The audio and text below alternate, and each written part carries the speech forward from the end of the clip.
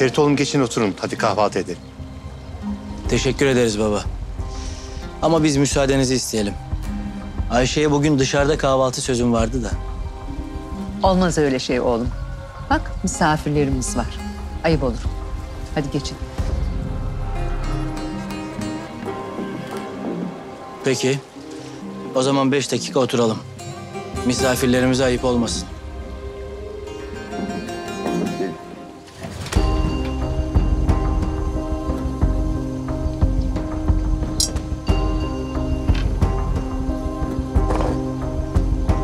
Madem hemen kalkacaksınız, ben söze gireyim. Bu masadaki herkes birbirini neredeyse avucun içi gibi tanır. Bir tek kişiyi tanımıyoruz. O da Ayşe Hanım.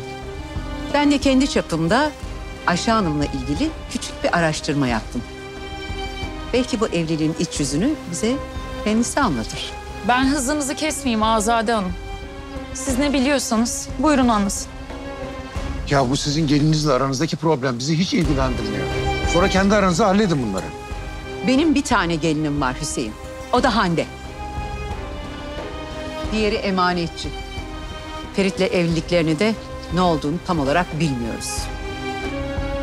Hande, kızım, ben genel olarak neler olduğunu biliyorum. Ama bir de senden duyalım. Neden Ferit karım diye bu kızı getirdi düğüne?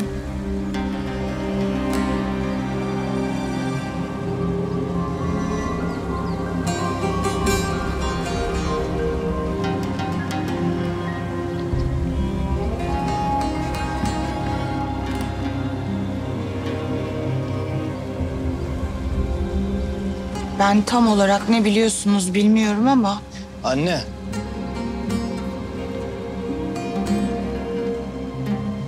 Hande beni Ayşe ile mesajlaşırken gördü. Yazışmalarımızı okudu. Kavga ettik, tartıştık. Sonra birlikte ayrılma kararı aldık.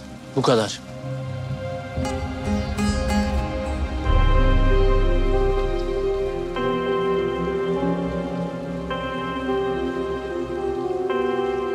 Ferit, uzatma artık. Şu meseleyi çözelim. Bitti mi anne? Bitecek. Az kaldı. Bekliyorum. Oğlumun üniversitede tanıştık dediği bu kız, üniversite terk. Hem de Ferit'ten yıllar sonra. Kafelerde getir götür yapan, köpek gezdirerek hayatını kazanan kimsesiz biri sadece. Ha bu arada niyetini henüz bilmiyoruz. Ferit mi onu kandırdı? O mu Ferit'i kandırdı? Belki Ayşe Hanım bize anlatır. Alın terimle para kazandım doğrudur. Azade Hanım. O zaman Ferit bize bu hikayenin aslı astarını anlatsın bakalım. Eğer hayatında biri olsaydı öncelikle annen olarak ben bilirdim. Sonra da Hande ile olan meselenizi konuşalım, çözelim ve şu olay bitsin. Artık tatlıya bağlayalım. Bağlayalım anne. Mesele buraya kadar geldiyse o zaman ben de açık yüreklilikle anlatayım.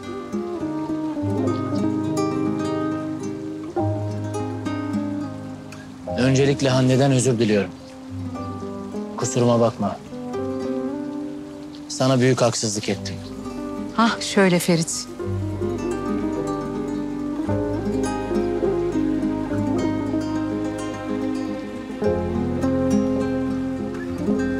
Anneciğim, hafiye gibi araştırmışsın ama duygular eksik kalmış. Hande'den özür dilememin sebebi şu.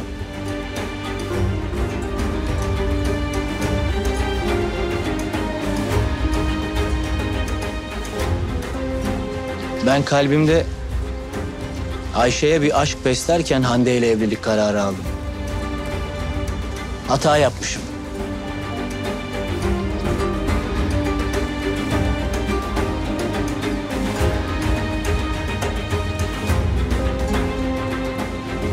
Çok büyük haksızlık ettim. Ben Ayşe'ye aşığım. Ferit, yeter artık bitir şu oyunu. Uzatma. daha ne kadar devam edeceksin buna? Öfken ne zaman bitecek? Bana işkencen ne kadar sürecek? Sırf benden intikam almak için aşk masalı uydurma. Kızım ne aşkından bahsediyorsun? Bir sakin ol. Şu kıza mı aşık olacak? Hadi. Kalk kızım kalk kalk kalk. Anneciğim.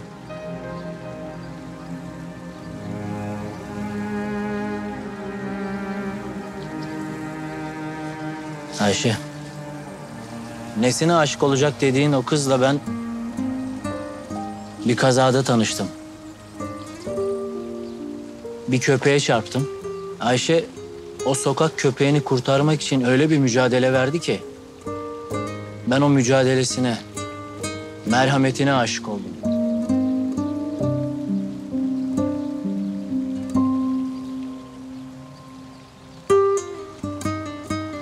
Evet Ayşe'nin senin de dediğin gibi böyle kocaman büyük bir ailesi yok.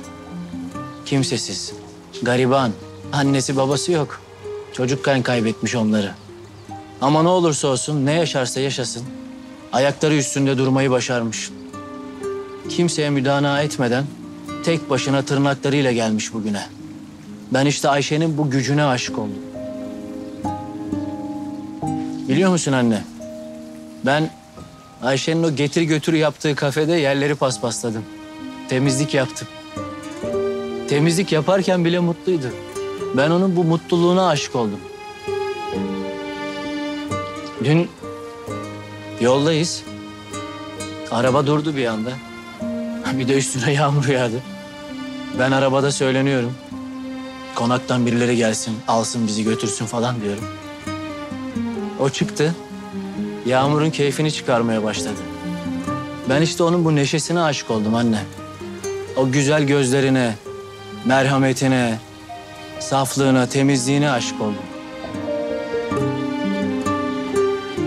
En önemlisi de Ferit Sancakzade'yi değil. Sadece Ferit'i seviyor oluşuna aşık oldum. Siz ne düşünürseniz düşünün. Ne yaşarsanız yaşayın. Neye inanırsanız inanın. Ben Ayşe'ye aşığım. O kadar.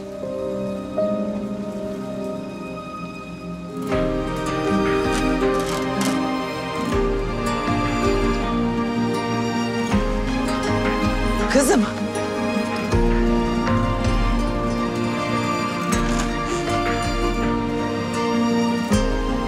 Anne, bu insanlara daha fazla ümit verme. Canlarını yakma. Bu mesele artık burada kapansın.